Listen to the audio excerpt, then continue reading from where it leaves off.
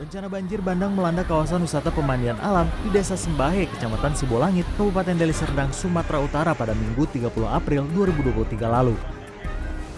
Sebuah mobil dan beberapa bangunan rusak terseret arus akibat meluapnya hulu sungai Deli pada sekitar jam 2 siang ini. Beruntung tidak ada korban jiwa yang jatuh pada kejadian ini.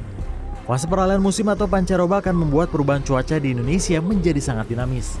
Selain itu ada beberapa faktor yang menjadi penyebab seiring terjadinya bencana banjir bandang di wilayah Indonesia yang beriklim tropis. Sebagian besar justru disebabkan sendiri oleh ulah manusia baik secara lokal maupun global. Saya uh, hektar yang awalnya hutan itu menjadi pertanian. Jadi um, daya tampung air mungkin berkurang.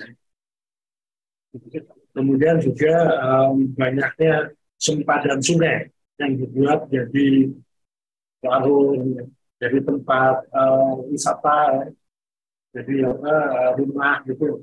Jadi mengurangi sebenarnya kapasitas dari sungai itu.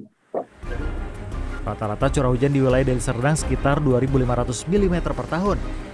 Sedangkan beberapa tahun terakhir tercatat meningkat menjadi 3.500 mm per tahun. Sebelum kejadian banjir bandang di Sembahe, sebenarnya Badan Meteorologi, Klimatologi, dan Geofisika atau BMKG sudah mengeluarkan peringatan akan adanya curah hujan tinggi di wilayah tersebut.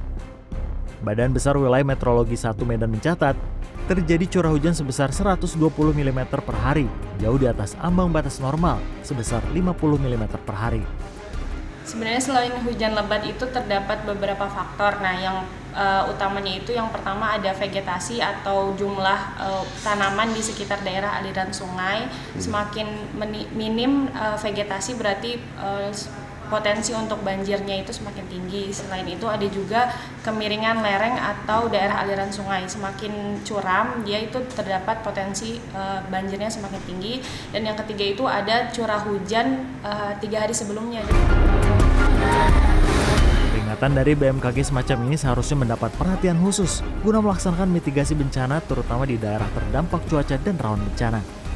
Hingga empat hari ke depan, BMKG juga telah mengeluarkan peringatan cuaca ekstrim di beberapa wilayah pantai barat Sumatera, terutama di wilayah Aceh yang dinyatakan berstatus siaga cuaca ekstrim. Gatot Trihardianto, Yudhistira Satria, Jakarta.